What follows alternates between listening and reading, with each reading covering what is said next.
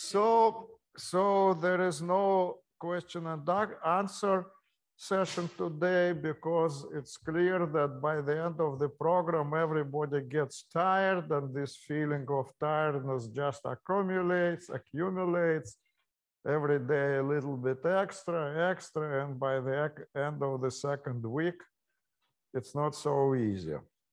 So the one thing that no uh, session, and the second thing that I will try to be even less technical uh, than I was uh, last time, yesterday.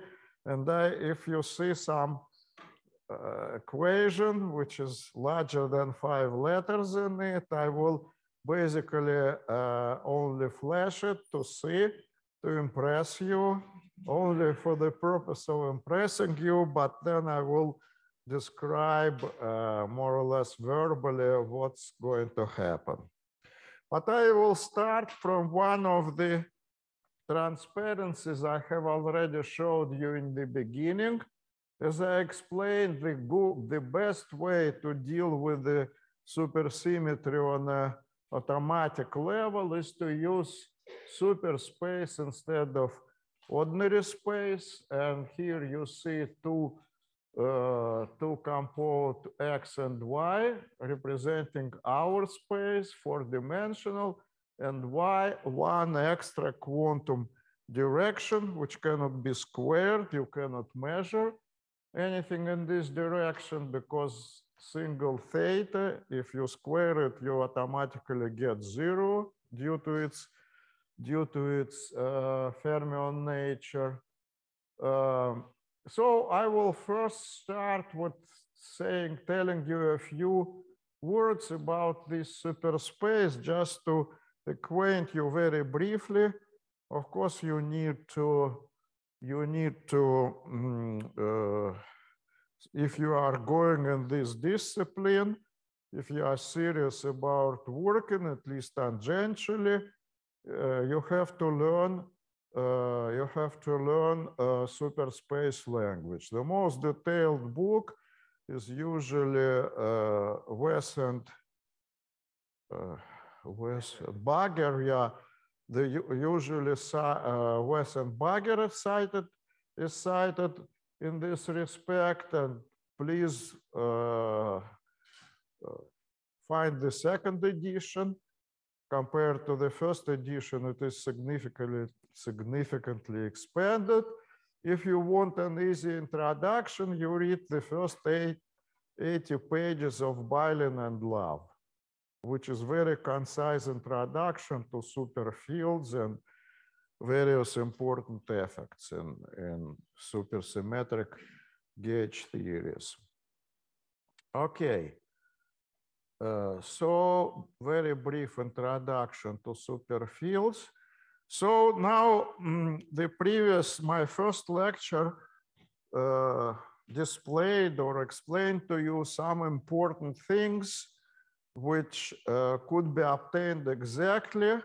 For instance, I demonstrated uh, you uh, how the exact mass of the uh, of the um, kink uh, the exact kink mass could be obtained through BPS saturation, which is approximate without supersymmetry, but the statement that M is equal to Z in supersymmetry, mass is equal to the exact central charge, makes uh, this uh, equality of the mass to the central charge uh, statement which is uh, valid absolutely beyond perturbation theory and even non-perturbatively.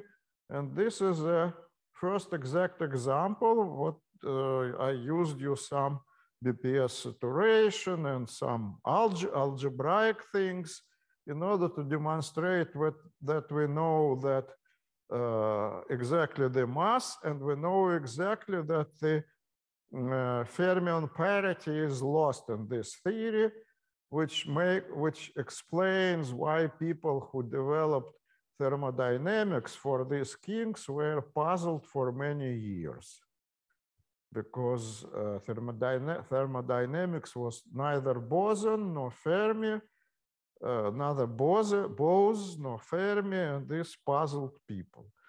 Today, my intention is to demonstrate the power of holomorphy, which requires the presence of the uh, of the complex field. And the uh, important role which plays by left-handed and right-handed fermions in the uh, where they exist, the left-handed and right-handed, uh, in four dimensions. So you see, uh, here you see a cartoon. It refers to working, you know, hard workers. Today we will talk about the branes or the analog of the branes in quantum field theory. And uh, the results obtained would, would be largely uh, rely, would largely rely, strongly rely on holomorphy. So that's another strong tool which added to the power of, adds to the power of supersymmetry and strong coupling. Okay, here I demonstrate to you the simplest non-abelian Yang-Mills theory, the simplest which you can have. It describes the kinetic term of the gluon fields, right? The standard kinetic term. The gluon fields uh, have two physical polarizations. In the physical gauge, there are only transverse, two transverse gluons. So we are looking for fermion partners which have only two degrees of freedom. It's clear that the Dirac spinor doesn't fit this plot because the Dirac spinor has two polarization up and down and um, and um, antiparticle is different from particle. So the Dirac spinor has four degrees of freedom. We need to half this number to this end, we can use either Majorana spinor in four dimensions, and people used it a lot in the beginning, but later they understood that it's much easier to proceed to Weyl in four dimensions, if you remember, each Majorana spinor is identical to a Weyl spinor. You can rewrite it as a left-handed Weyl or right-handed Weyl spinor. So uh, that's what we should do. Uh, proceed to Weyl spinor, then we have, uh, and for Weyl spinors, the polarization is only one, but there is spinor particle and antiparticle, so two degrees of freedom. And then the standard gauge invariance prompts you how to, how to do symmetrization. You only write the standard gauge invariant kinetic term and the uh, so gluon term, and this is the gluino term. Here it is written for reasons which I don't remember in the Majorana representation. Therefore, so lambda is real, but has still two uh, directions of spin. Therefore, for real fields, you have to write here one half. In the Weyl representation, there is no one half. But uh, instead of d slash, you can write lambda bar alpha dot, d alpha alpha dot, lambda alpha. These are some typical, these are the propagator, the gluon propagator, the gluino propagator, and some typical vertices uh, three gluon vertex and uh, gluino, gluino, gluon vertex.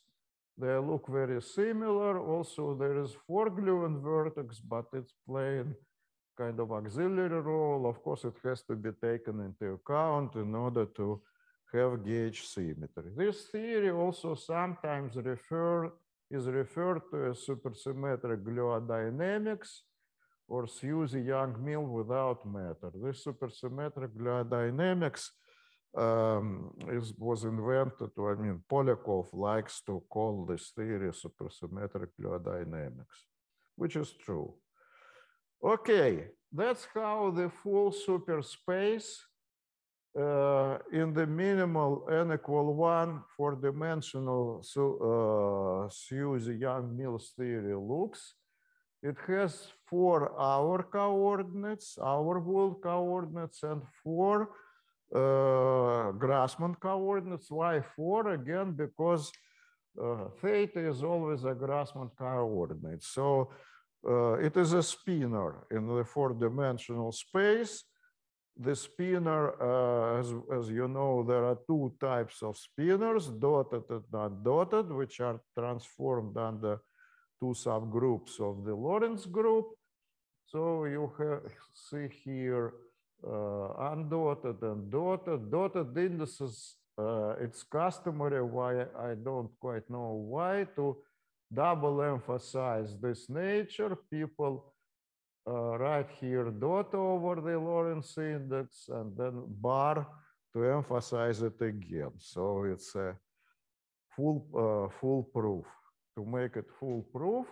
So alpha and alpha uh, dot run to, it's an index two dimensional, alpha can be equal to one, two. So two spinors uh, uh, and theta and theta bar. So altogether four Grassmann variables. Now, uh, here you see the super transformation laws, which follow immediately from the super algebra. Uh, I won't stop on it because, as I promised, uh, this equation has more than five letters. Just if you need to look at more carefully, you are free to look in my slides or in the text which I quoted.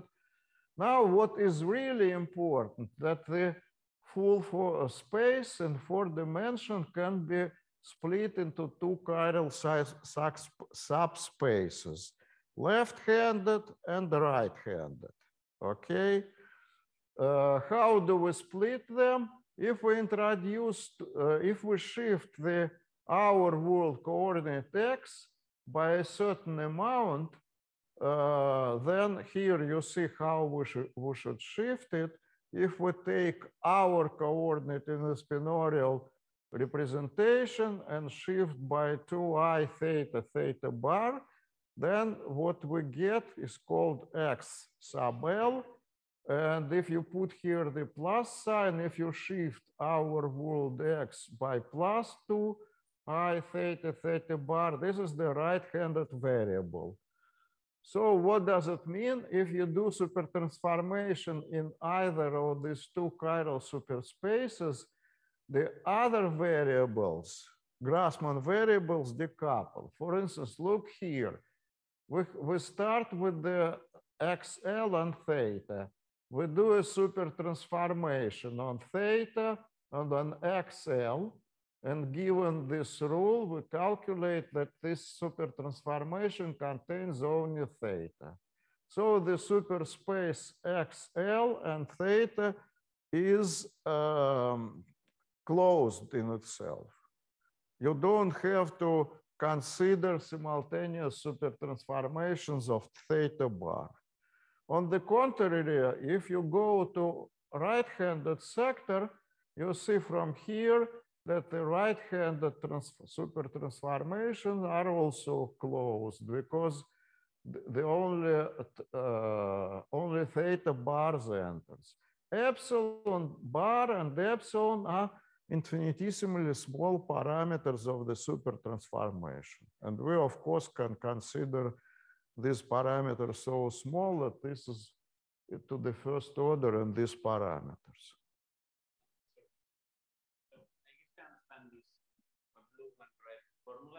Yeah.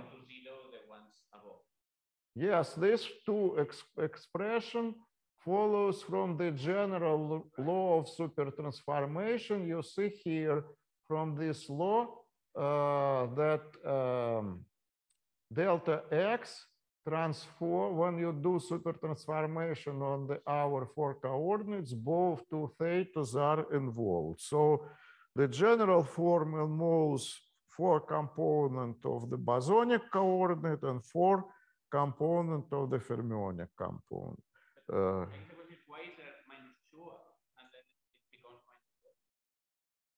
if you use these equations, then and redefine theta, x, x, sorry, our coordinate, then you can split. You see, this one single formula splits into two disconnected parts.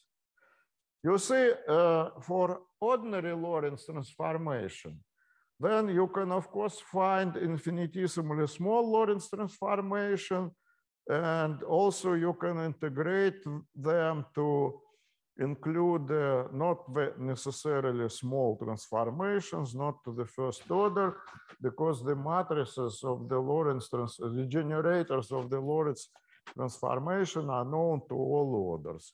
For supersymmetric variables, it's both easier and less easier, easier because when you have only theta as a parameter, right?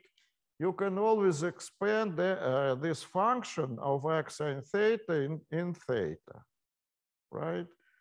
Always expand. Let's say you have only one theta, theta alpha. You can expand this function in a few terms and the last term of the expansion will be theta alpha squared because it will be equal to 2 theta 1 theta 2. If you multiply by another theta alpha, it will be 0 because two identical Grassmann variables appear at one and the same point. Okay. So this is an easier fact, but then the geometry of the superspace is a little more complicated.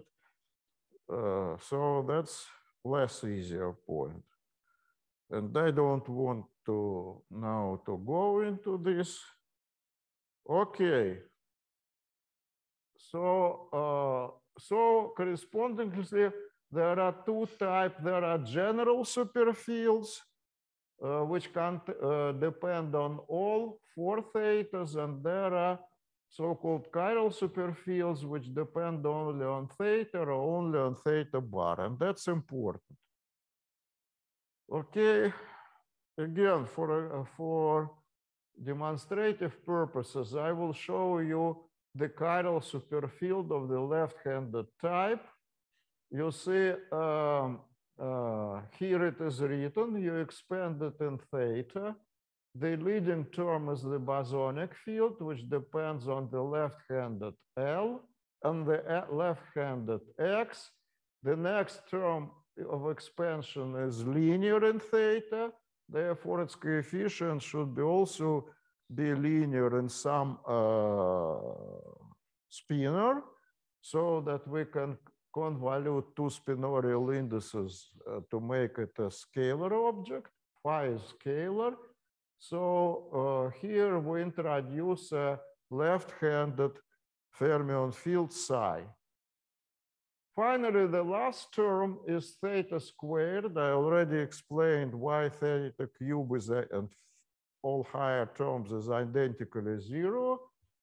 And uh, we will see that, uh, so the balance of degrees of freedom is achieved here. One complex scalar field, two degrees of freedom, and one uh, Weyl spinor is also two degrees of freedom. You see the third component, but you will see shortly that it has to be non-dynamical and will enter without derivatives and could be eliminated through equations of motion. Uh, now, the last thing which I say explicitly that if you have a super field, it just differentiated. Uh, the derivative, regular derivative of the superfield is not superfield. It doesn't satisfy the transformations which I uh, presented in the previous transparency. That's because the geometry in the super coordinate part uh, is not kind of flat, so you have introduced the covariant derivative, much like in gravity or in Yang-Mills theory, in order to make sure that the covariant derivative of the superfield is also a superfield, okay? And you can see, especially for the chiral fields, it's very, no, this is just a general expression for all types of superfields if you want to introduce the covariant derivative, there are again two of them, d sub alpha and d bar alpha dot, and they are obtained uh, as a derivative with regards to theta plus additional term which combines theta bar with the covariant derivative. I'm sorry, with partial derivative. The same here, d bar alpha dot is the derivative with regards to theta bar plus a term which combines partial derivative with theta. And you can easily check that the um, uh, anti-commutator of d and d bar produces just uh, covariant derivatives. The derivative of this type cancel out. So now just for illustration, I uh, present here the full expression of the vector fields. You see it doesn't fit one line. I won't explain it. It has too many components. The last component is theta squared, theta bar squared, but you see one, two, three, four, five, six, seven, eight, plus Hermitian conjugation. So it will be 8 plus 2, 11, and uh, 10, no, 11, 12, uh, 12, because C already appeared here. So you have 10, 12 components and uh, it looks terrible. Uh, the constraint here on the vector field that it has to be real. So you can see that because of Hermitian conjugation term, it is real. But most of these components are super gauge artifacts and they can be eliminated. The first time the vector fields appears here, you see here is V alpha alpha dot. That's analog of uh, A uh, of the four gauge four vector, A mu. It appears only on the uh, one, two, three, four, five, uh, at the sixth place. And then uh, gluina, uh, and then this D term. Now, by making a super gauge transformation, you can kill all these terms, so they are totally unphysical. They are super gauge partners, like uh, longitudinal components of the vector field in the non-supersymmetric theories. So you can eliminate them. Simultaneously, you eliminate this term and you eliminate chi term. So this term is absent. This gauge which eliminates all auxiliary superfields, not all, but most of the auxiliary superfields, it goes, is go, oi, what happened? Is called the Wess-Zumino gauge, okay? So upon elimination, this vector gauge supermultiplet starts from the vector field plus uh, gluons plus gluinos and plus the D term, which also it's the last term in the superfield and the last terms in the superfields always enter without derivative and thus can be eliminated for equation of motion. So the last term in the chiral superfields is called F, the so-called F term, and the last term in the gauge superfield is called D term.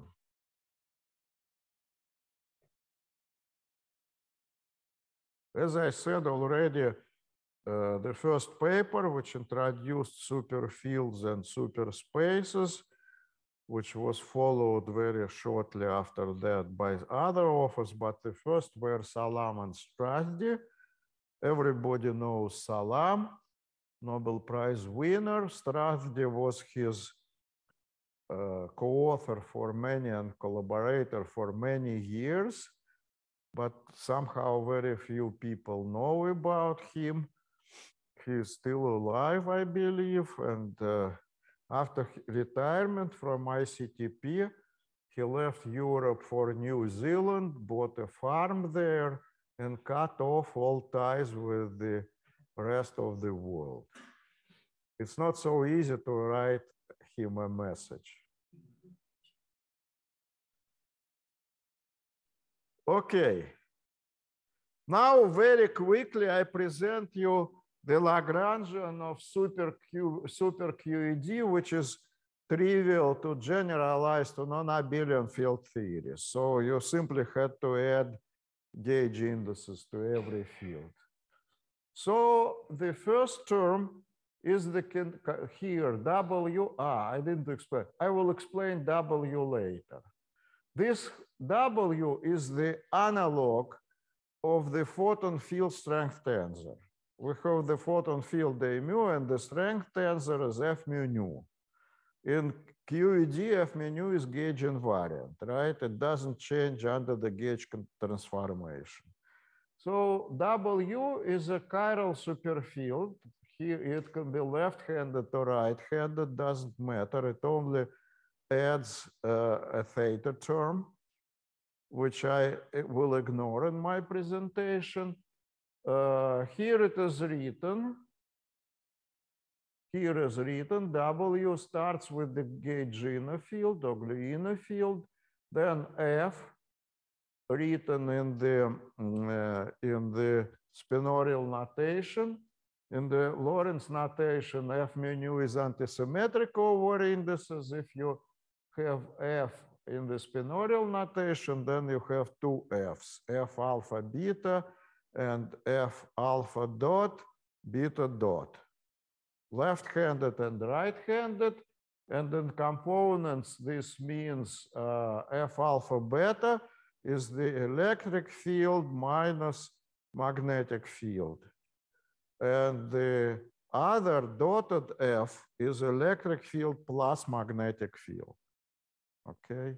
Because these are representations of uh, zero, one plus one, zero of the Lorentz group. So what's next enters in W. This is a derivative of the Gluino field. This is the equation of motion. So it will it will play no role. Well, it play it will play a role in creating of the of the um, kinetic term for Gluino fields, which uh, of course is proportional to its equation of motion. And then D is the last term. We will see that in this particular model, D even either disappears equal to, to zero, zero or play a very limited by, but a very uh, important role. It's called, in this context, it will be called the Fayet-Iliopoulos term. Yes?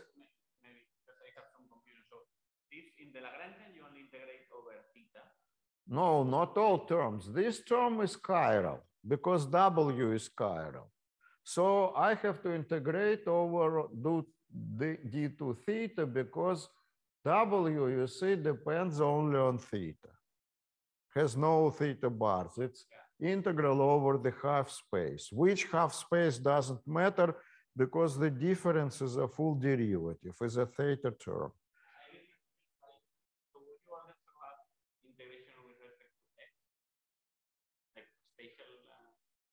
Uh, then you will, instead of Lagrangian, I will have to write uh, action. The action is the integral over the uh, over the Lagrangian over d4x. But here it's the integrand of yeah. the action. Yeah. The d is not the derivative. No, this, this last d you were commenting on, it's not the derivative. It's just no d without index is not a covariant derivative. It's just the last component in the vector superfield. Now you see that uh, the mass term here, the mass term is also chiral. We have to introduce the electron field. Electron contains, uh, electron is a Dirac fermion. The chiral superfield contains one Weyl fermion. And the Dirac fermion is a combination of two Weyl fermions. So we have to introduce two chiral superfields. One I called Q, chiral superfield, and another Q tilde. They are both chiral, let's say left-handed, and they have the opposite electric charges. How do you see that they have the opposite electric charges? Because the mass term is the integral over high, over the have space of Q and Q tilde plus Hermitian conjugation. Since we see here uh, everything in the Lagrangian should be gauge invariant, they have to be they have to have the opposite uh, electric charges. Of course, you can pass to Q tilde bar like here. Then they will have the same charges, but simultaneously, both, uh, one of them becomes right-handed. So it's not convenient. You can do it, but it's not convenient. This is the kinetic field of the matter superfield. You see Q bar Q plus Q tilde bar Q tilde. In components, it contains the kinetic fields, uh, kinetic terms of the matter superfields. Uh, and, um, and you see the integral over the entire space because they contain both Q bar and Q simultaneously. Now this mysterious factor e to the power v covariantizes this gauge. If you remember in the normal non-supersymmetric uh, gauge, uh, when you impose Wess Zumino, you have kinetic term, or let's say of this electron field is d mu covariant phi bar d mu covariant phi. This V produce, makes a partial derivative into covariant derivative.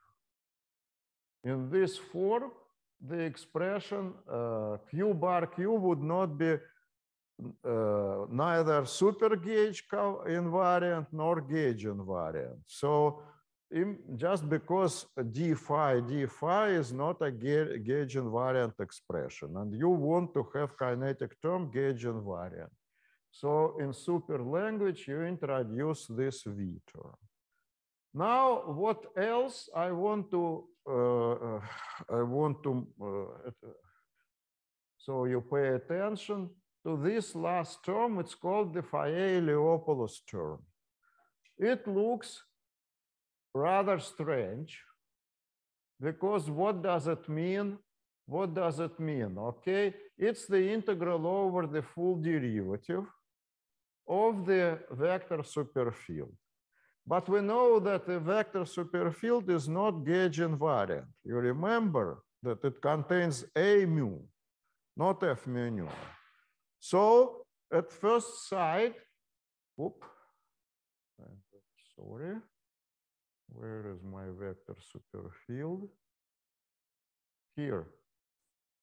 So at first sight, this is something which you cannot add because it's not seems to be uh, not gauge invariant. It would destroy the theory normally. However, implicitly, you don't see that it not, but because it's the integral over super coordinates, both super coordinates, it's in fact okay. It's super gauge invariant. How do you see it?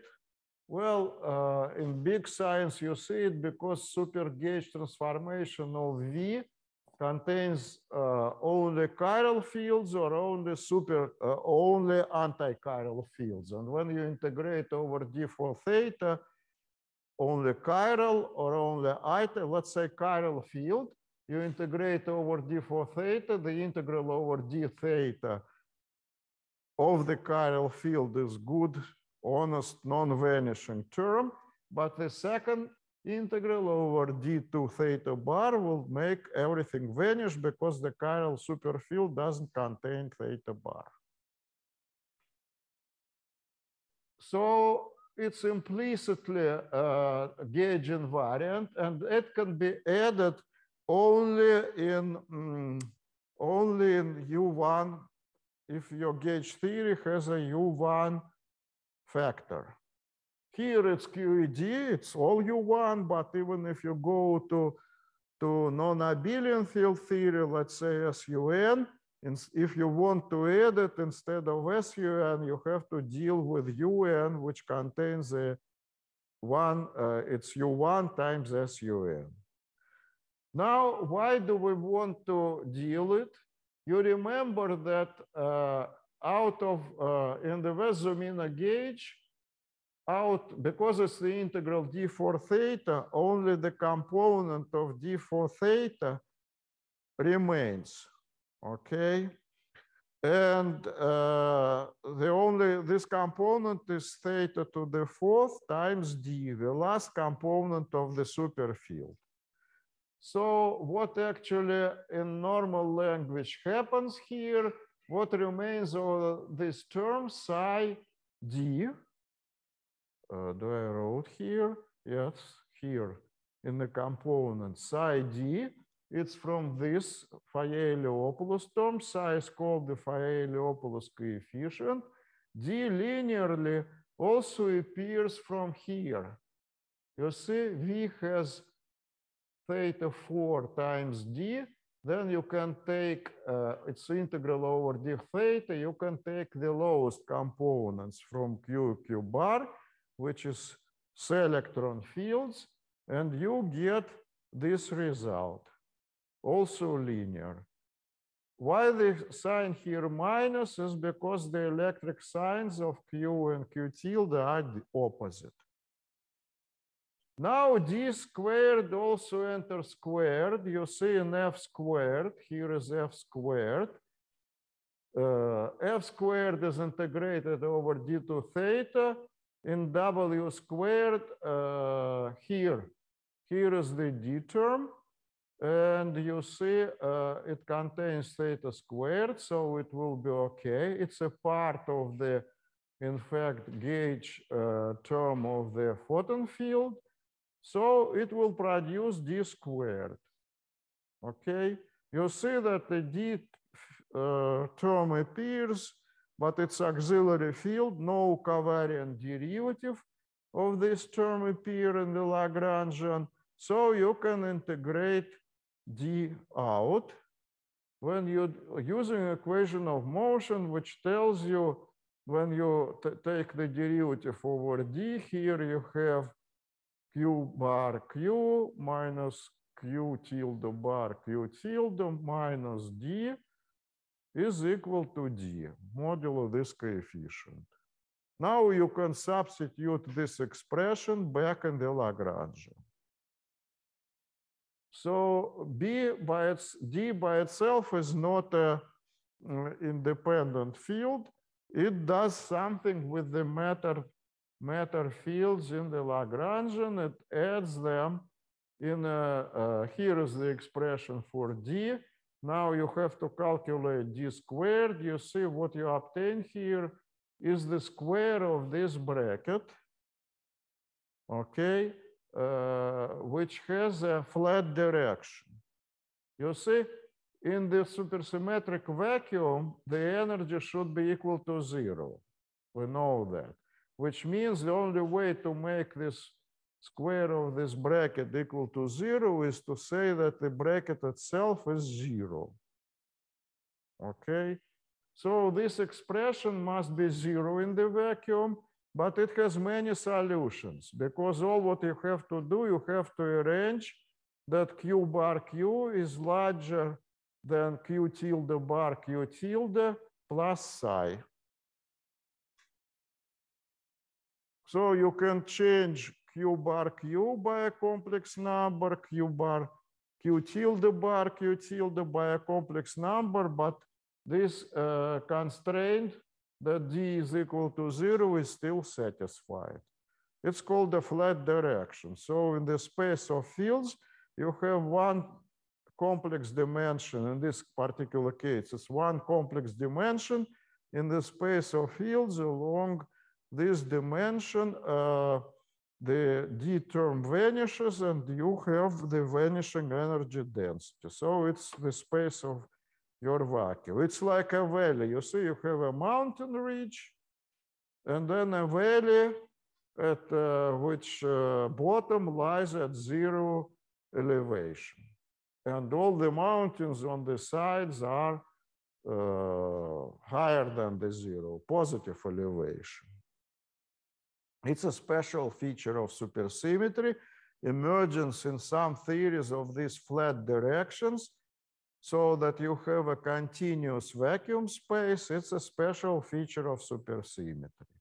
Why is it different, say, if you have a uh, pion Lagrangian, which was discussed here, for instance, by Jaume Gomis and some other authors, when you have a spontaneous breaking of the chiral symmetry, you also have a manifold of the generate vacuum because of the Goldstone particles. You remember there was a big discussion of various Goldstones. In ordinary theories, uh, all these vacuum manifolds indeed do exist if the if there is a spontaneous breaking of some continuous theory, but they are always compact, which means that physics at every point of this vacuum manifold is exactly the same. There is no difference.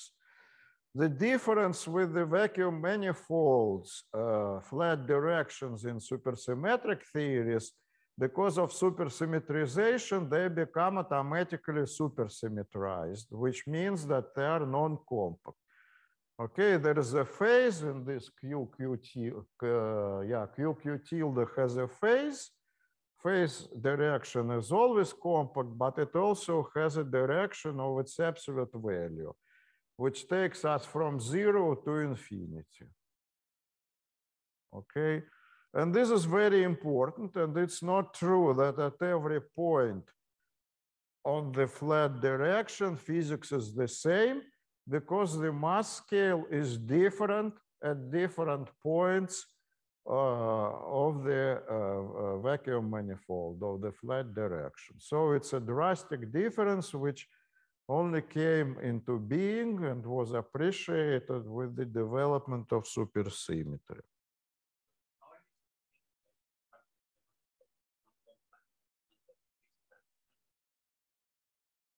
I say physically, that means that physics, if we have two distinct points on the vacuum manifolds, which are not different only by the phase, you start measuring amplitudes or whatever is measurable, and you see that uh, the outcome is not the same. They are not reducible to each other. Okay, going next. Uh, so I already mentioned uh, what changes if we proceed to gluodynamics instead of electrodynamics. In gluodynamics, uh, there are no matter fields, there are only gluons and gluinos. So this is the first two lines. And you see, I already showed you the combined Lagrangian. It's very similar to QCD, but instead of one quark, we have uh, one uh, Majorana in the joint representation, one Majorana fermion and the, or one Weyl fermion, but in both cases, it's not fundamental, it's the joint representation. Now, if we add the matter fields here, here is the component expression. Sorry. You see this Q and Q bar are electrons, scalar fields uh, covariant derivative here, and psi and psi bar are matter fields. So they can be, if it is non-abelian theory in any representation you like, the same for tilted quantities. Uh, now there are super Yukawa couplings which appear automatically. Gluino, you have a coupling, for instance, gluon, psi, psi bar, three field coupling, gluino or gluon couples to psi and psi bar. This is a supersymmetration. Instead of gluon, you have a gluino, but it couples with Q bar and psi. Okay, one a spinor field, one scalar field. The same is for psi bar. Psi bar, this is the mass term. M psi, it's different from the standard mass term, but if you, you can rewrite it in the Dirac notation, then it would be that not that different. Here it's written in the Weyl notation, so it's identical to the Dirac-Gluino term. And finally, the so-called scalar, scalar uh, potential, which is presents the normal potential. You see the contribution from, from the quark term, And you see this Fayet-Iliopoulos term uh, here.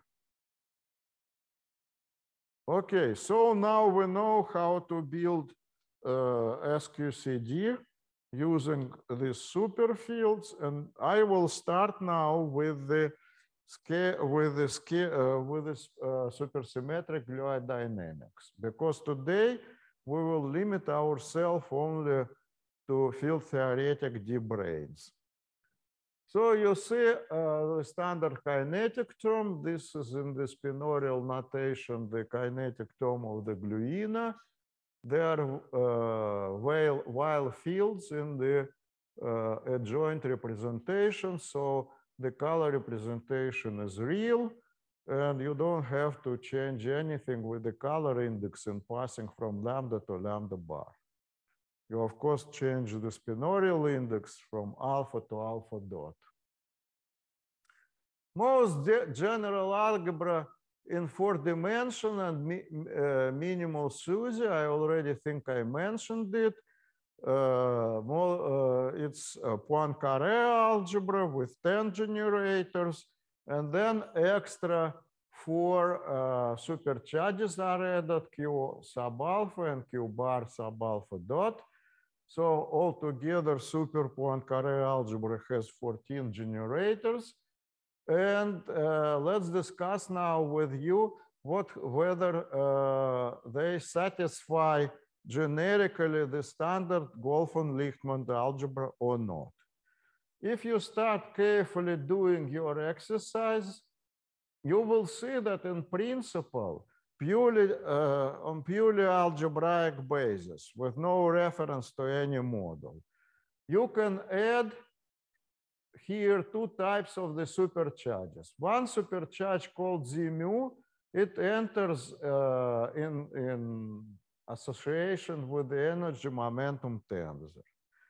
People for many, many years didn't even, well, it's not an honest to God's uh, central charges. I explained in the very beginning that the people thought of the central charges at first only as constants which have no Lorentz indices, okay? Only later it became uh, clear that you, if you have topological solitons, which are uh, extended objects, like for instance, vortex string or domain wall, okay? They are valid solitons, topological solitons, but they are do have Lorentz indices. Therefore, of course, they do not commute uh, with the this type of uh, central quote unquote charges, which following Komargodski and Seiberg can be called brane charges generically, they do not commute with the Lorentz rotation. But we don't care because we always will work in the rest frame in the so-called little group. If you have a string, you know how it will be Lorentz rotated. Let's say a string you directed from the very beginning along the z, z uh, axis, okay? And um, if you solve the problem the, for the string along the z-axis, after this solution, you can always rewrite your redraw your axis in any other direction, the answer will be essentially the same. So uh, the, this central charge, which has a vectorial structure, wasn't, you see, there was a famous paper by Ferrara where he classified, classified um, all central charges which can appear for uh, all degree of supersymmetry in four dimensions. Not, their number generic is very large, but he missed this one. Because he said, I mean, his idea was you just redefine P mu, the energy momentum vector, and called it new P mu, which is of course wrong because you have to impose the condition that P mu is always transversal to Z mu. The product PZ is equal to zero. So you cannot include, you know separately the energy momentum tensor and separately this central charge in the space in the rest frame in the space, they are oriented differently. So you have to include this. It has Lorentz quantum number one half, one half. So it is just a regular four dimensional vector. Now, if you, oop, now, if you go to the commutators, so Golfand Likhtman algebra says that this anti-commutator must vanish. And indeed, it vanishes in any theory with no extended solitons, topological solitons. But if you don't assume this absence of solitons, then in fact, it can anti-commute and produce the central charge with the two uh, Lorentz undotted indices and sigma alpha beta. Here it is defined more carefully in terms of dx mu, dx nu, and the sigma matrices. This show this is a Lorentz in uh, covariant notation for the surface. Sigma alpha beta is a surface. So if you have a topological soliton of the type of the plane or domain wall is a typical example, then this central charge is not zero but it has different Lorentz numbers. According to Lorentz, if you have the sigma alpha beta symmetrized over alpha beta, it's the representation 1, 0, 0, 1. Totally different Lorentz representation.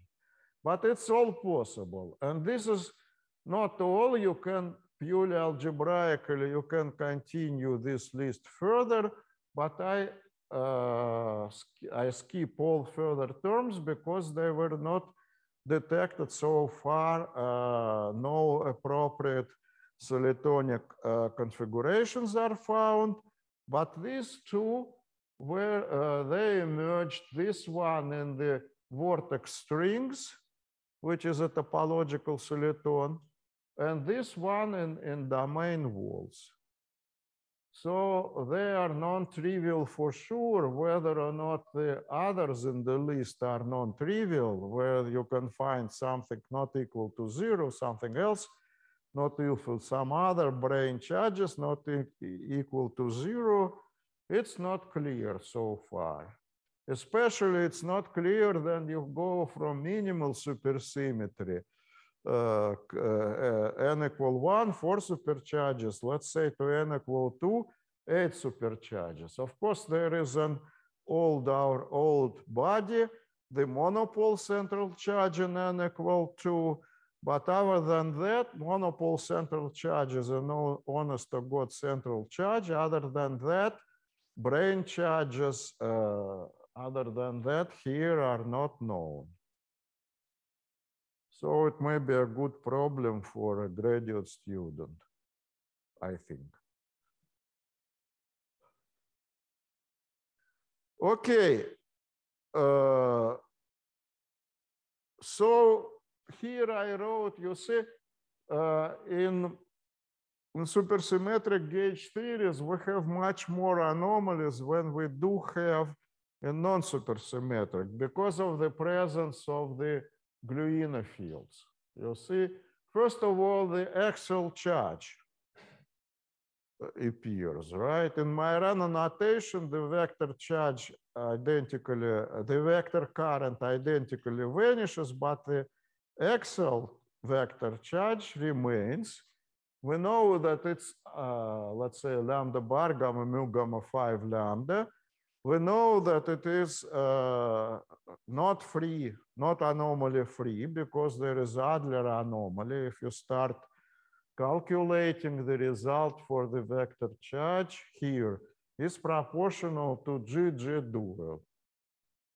You see, uh, there is energy momentum tensor, which has an anomaly in the central charge, and it, there is a conserved supercharge which is of course conserved, but uh, its convolution with the gamma matrix, which is uh, predicted to be zero at the quantum level, uh, in term, in fact, also not anomaly free, If you calculate, uh, it is proportional to gluon field strength tensor and to gluino field. This is again only a feature of supersymmetric theory.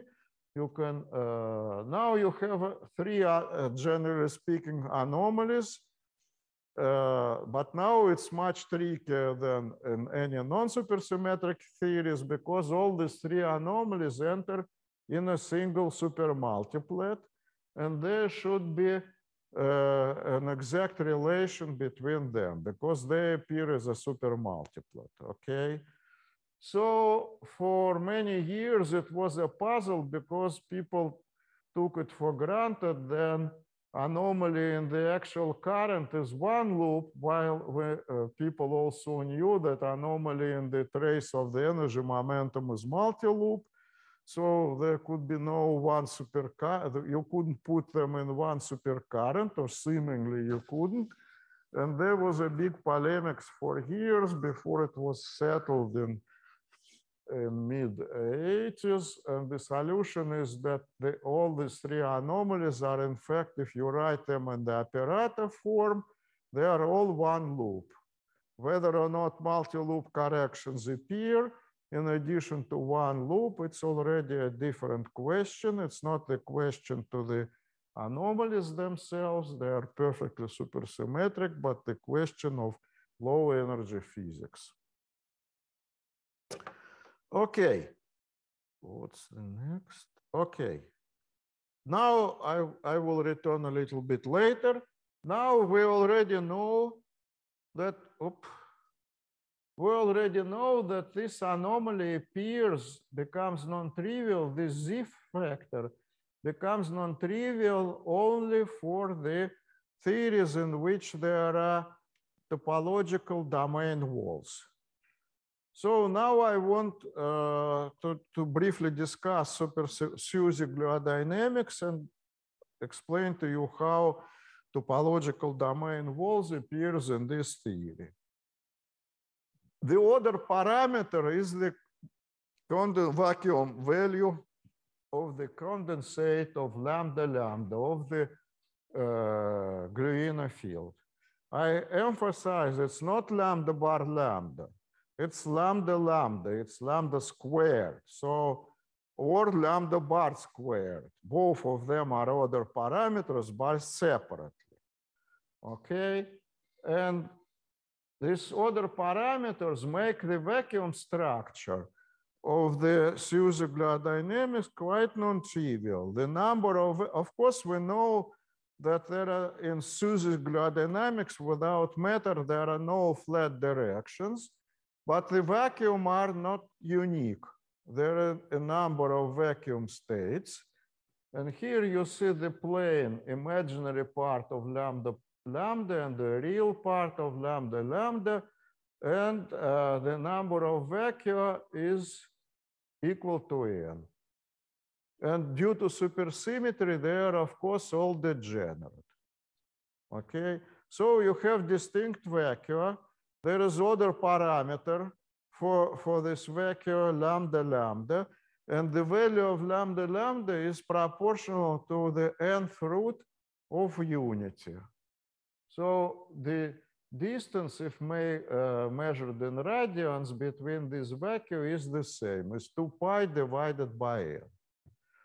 If you have a number of vacua, uh, which are all degenerate, and they are discrete, there is no mass gap in this theory, then inevitably there will be a configuration of this type. One vacuum on the right, one vacuum on the left. Now this sigma alpha beta here degenerates into a unit in three-dimensional space at rest, at the rest frame, it generates into unit vector perpendicular to this transitional domain, which is called domain wall. It separates one vacuum from another. It's like a magnetic phenomena. You have uh, vac you have ground states with different parameters, uh, magnetization, and then each time they meet each other, there is a domain wall between these two ground states.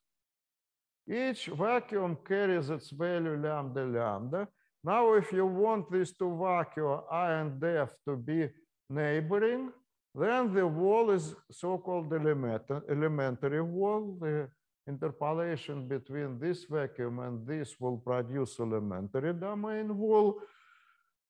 Uh, and uh, and interpolation between uh, let's say this produces a composite domain wall, which is called K-wall.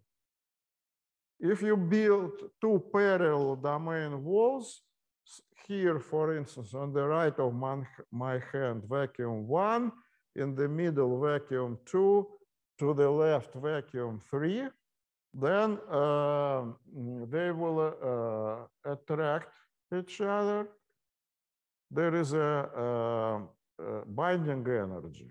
It's a long, it's a short, long, short range attraction, so it will take them infinitely many time to come together. But if you wait for a long time, they will come together and get bound together.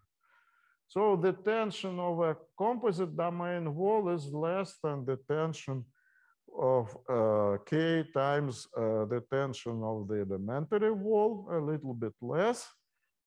Now, what is uh, the tension?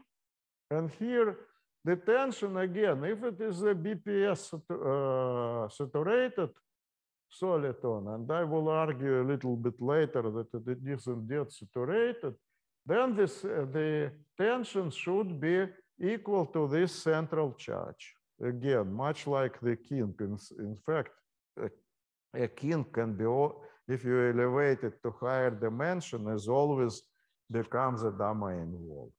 And if the soliton, which you discuss, is BPS saturated, or BPS for short, then you will have to satisfy the same equation uh, than uh, previously.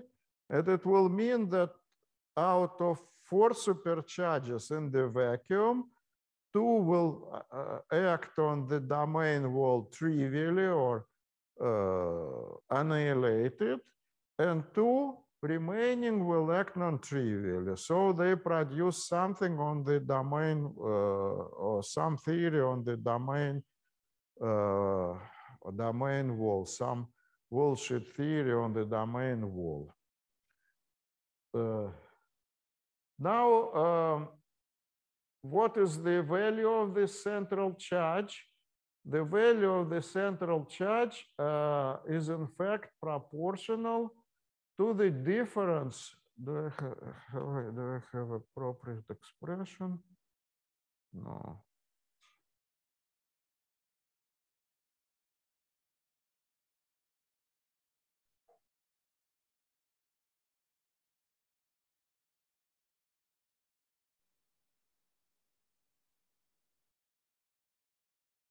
Strange. Okay.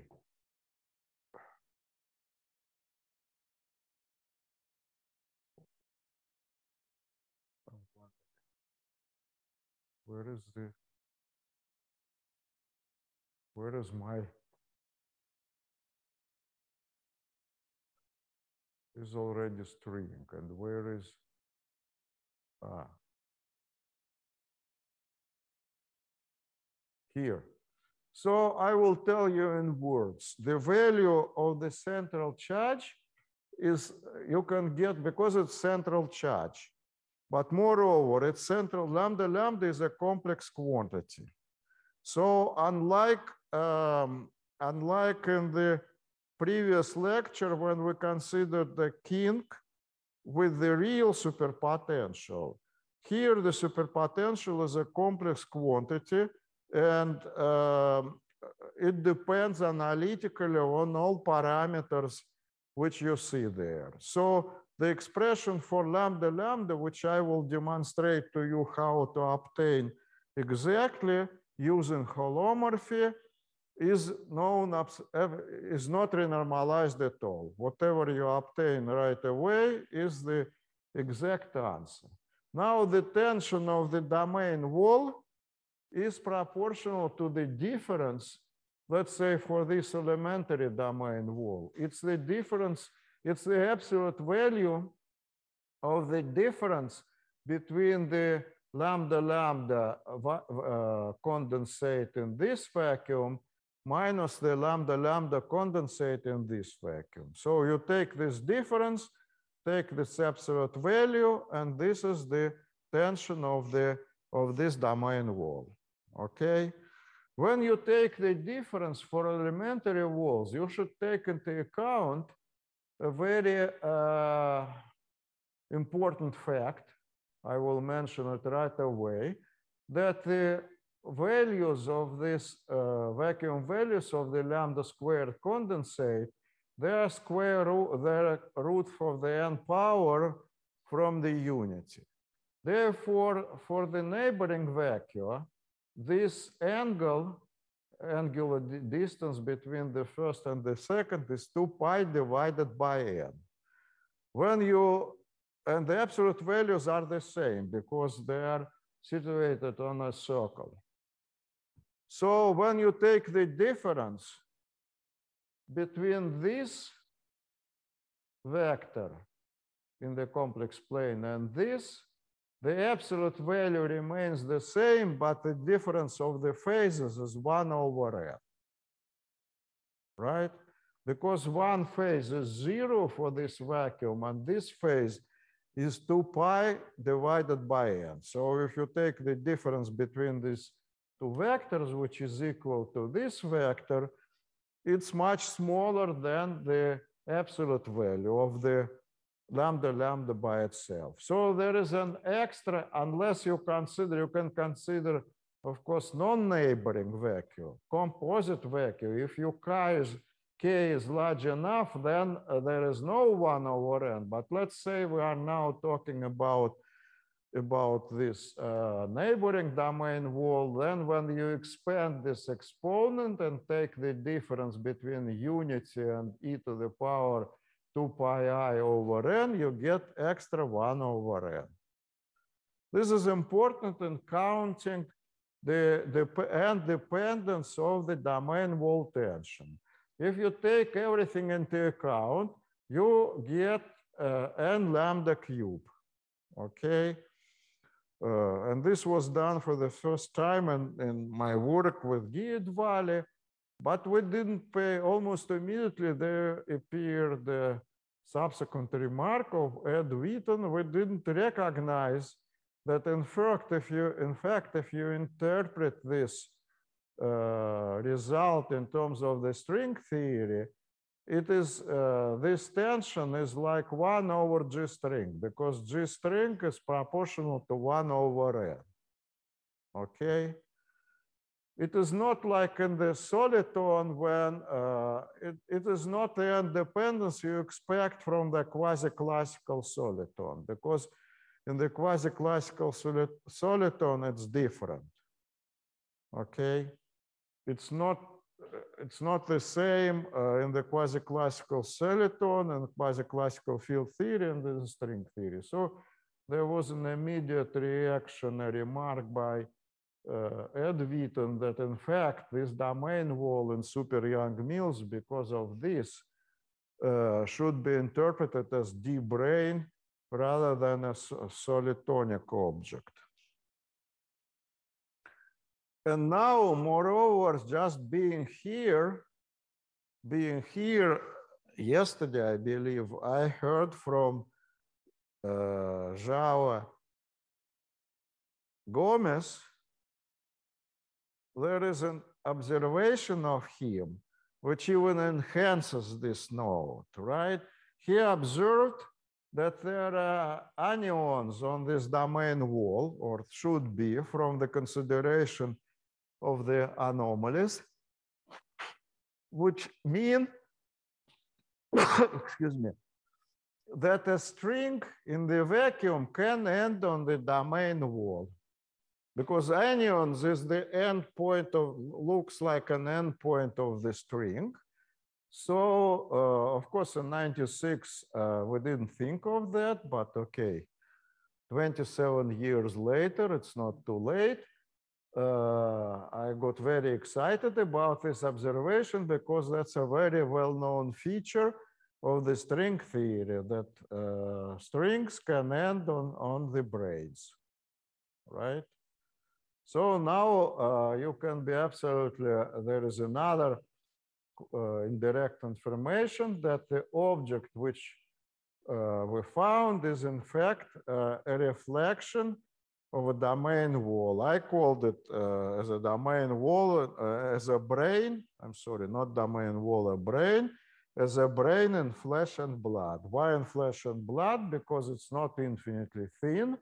Its thickness in the perpendicular direction is of order lambda minus one. The lambda is the scale parameter and um, everything is calculable well, not everything, but many things which are BPS protected are calculable uh, through this condensate. Uh, when do I finish? Ah, uh, five minutes, okay. So the last topic I will discuss here, uh, I think five minutes will be okay is how do we know exactly, you see this value, lambda lambda, it's not just on dimensional grounds and on the grounds of counting n. It has this coefficient minus 12, and it's not minus 12 point one, two, three, four. So it's exactly minus 12. It's an exact calculation. Question, how can we get it if this theory is strongly coupled? And here the answer is as follows. Let's do the same trick, which is now after 1994 became absolutely common. We deform the theory. 1994 is the year when Seiberg and Witten solved in the low energy limit n equal to uh, super Yang-Mills, also deformed a little bit and found confinement they used this uh, they used this uh, weapon, if you wish. It's a very powerful weapon. Here, uh, it's much simpler. The answer is much simpler, but it also was obtained earlier than Seiberg and Witten. So, and I will explain to you how it's obtained just without any technicalities, but the role of holomorphy will be clear. So what is the deformation of uh, supergluon dynamics, which I will consider? I will add one, uh, one flavor, SU2, the simplest gauge group, SU2. So for SU2, we have only two vacua, number one and number two. Domain wall only in elementary. It interpolates between one and two. No composite domain. Two domain walls is already nothing. They annihilate into nothing. So uh, we add one super multi multiplet of the matter fields in the fundamental representation. Here is quark, here is quark, here is the matter field and super Yukawa field. I'm sorry, the mass term for the quark fields and super Yukawa term. V of Q is this V of Q is the scalar potential depending on quarks. It has the same uh, it has the same uh, mass term for the bosons, but what is most important, it has the flat direction. Do you remember I when I discussed SQED, there was a flat, uh, there is no Fayet-Iliopoulos term in this uh, problem, so it is equivalent to Q bar Q minus Q bar, Q tilde bar, Q tilde in the um, uh, SQED, which we have discussed, but instead there are this mass term. So let's forget for a short while about the mass term then you see that this is a totally flat direction because at every point in which q bar t q is equal to zero, you have zero. And this is the value of the vacuum energy in supersymmetric theory. It's at zero. So it lasts, for, I mean, it's very, very non-compact from q equal to zero to q equal infinity. Okay, now uh, what happens in this theory? Excuse me for the lack of time. I will omit this consideration of the uh, R current, which is very simple, but uh, I will only uh, show you to show that um, this Q capital R, uh, as you remember, we have one Dirac field, which is uh, two Weyl spinors. So we have two, two chiral superfields. Uh, I runs one, two, uh, I runs one, two, this is color, and F runs one, two, this is flavor, and everything is called phi capital squared. So let's forget for a while about, about uh, the mass term. And I will tell you the values of the R charges, you will believe me. And let's consider uh, here what happens perturbatively, nothing is renormalized here, but uh, let's ask ourselves what happens in the theory Uh, for the effective phi field at low energy if you include the instantons. First of all, you can check whether or not the instantons are relevant at all and whether we need to develop instanton gas or God knows what at weak coupling, when m is small, the theory is fully fixed by the condensation of the matter fields. The gauge boson masses are very large. You can integrate the gauge boson bosons out, and you get the effective theory of one complex field. Okay?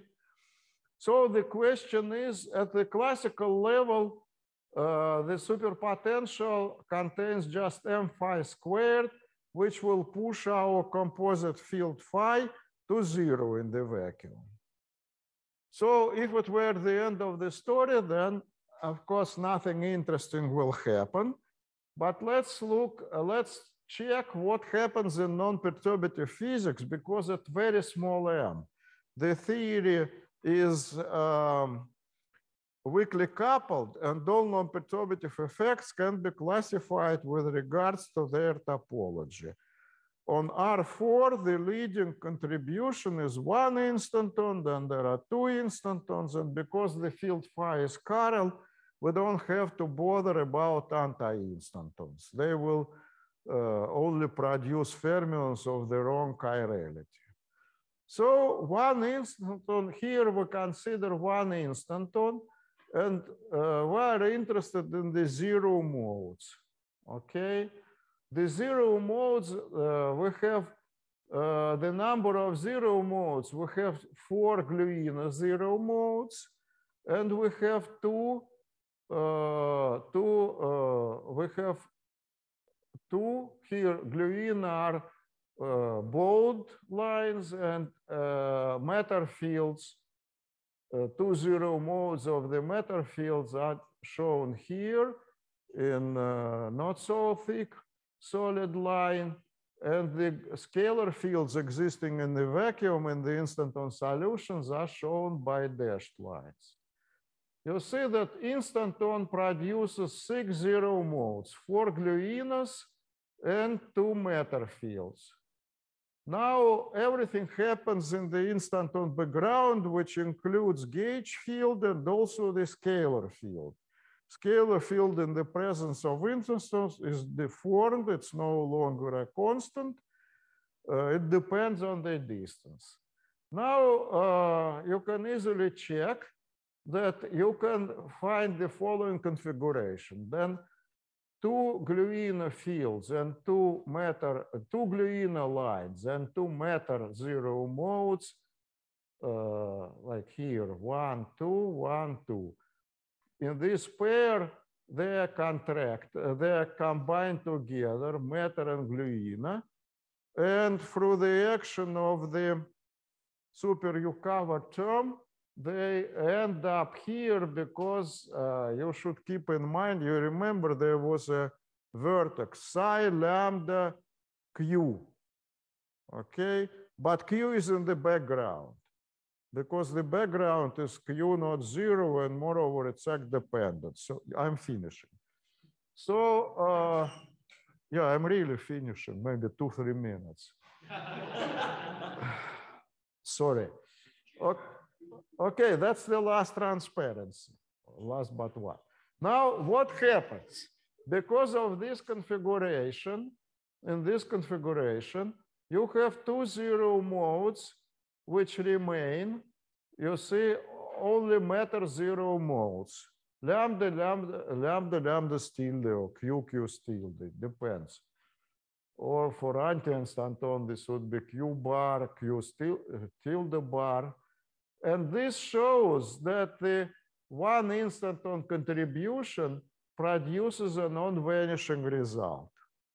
This instanton contribution, which of course at weak coupling, it can be using supersymmetry, the more so. It's calculable in the one instanton sector, it's calculable exactly. Now, why I am sure that there are no non-perturbative corrections? That because two instantons will produce twice more zero modes.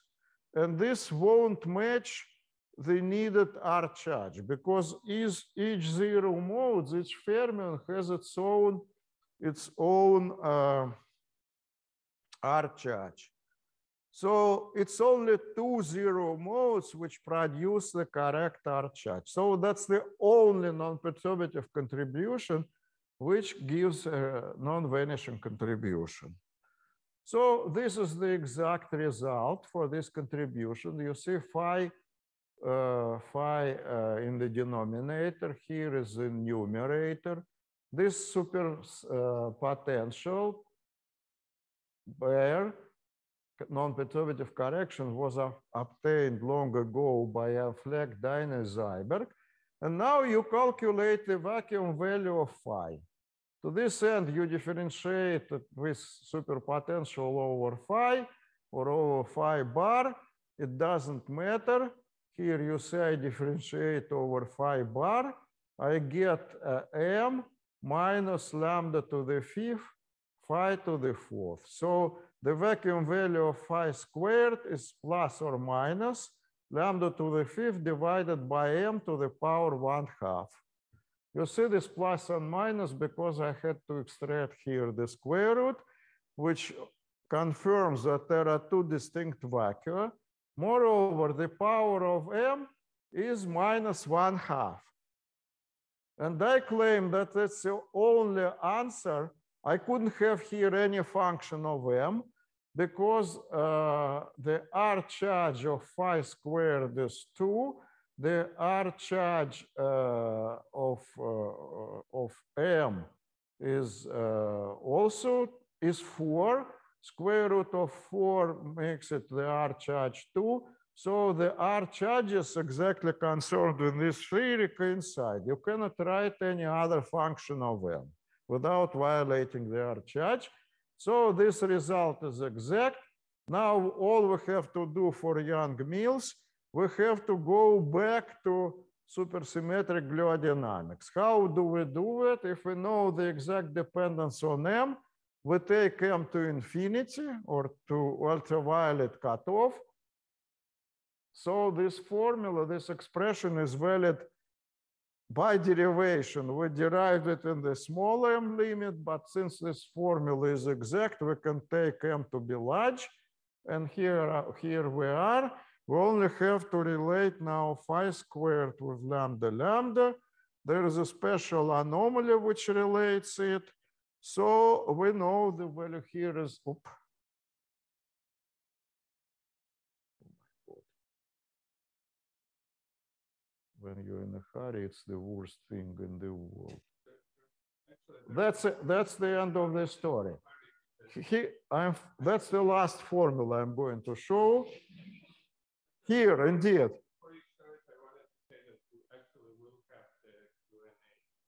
When?